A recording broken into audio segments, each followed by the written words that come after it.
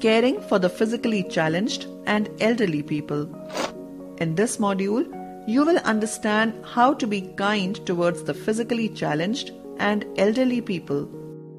Caring for the challenged, elderly, and physically challenged. God has gifted us with a wonderful body. Each part of our body performs a specific function. Life can be very difficult if one part of our body does not function properly. Physically challenged people. People who are unable to use a particular part of their body are called physically challenged or differently abled people. Some people cannot see. They are called blind. Some are totally blind while some are partially blind. Blind people use a special system to read and write. It is called Braille.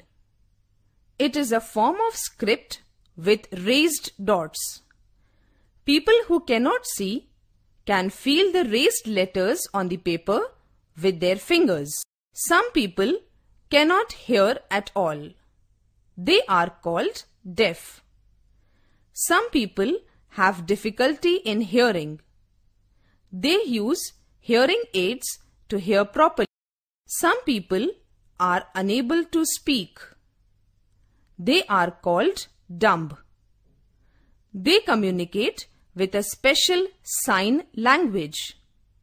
It helps them to express themselves and understand what others are saying. Caring for physically challenged people. Always help them. Never make fun of them. Never let them feel depressed. Treat them like other people and let them live with dignity. Take out some time for them and read books and magazines to them. Be friendly to them. There are many organizations which help physically challenged people. Be a part of these organizations to help them. Looking after elderly people.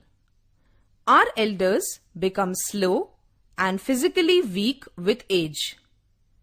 Elderly people have poor vision and are not able to hear properly. They need our love, support and affection. We should always love and respect elderly people. We should always help them.